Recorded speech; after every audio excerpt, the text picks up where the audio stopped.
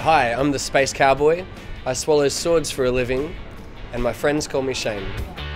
So I swallow up to 27 swords at one time. I have to stretch my throat with hoses for three days, and I bend all the handles so I can fit them all down my throat. So I'm a bit like a snake. I can open up my esophagus. Delicious.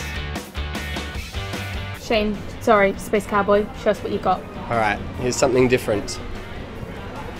One fish hook, one face.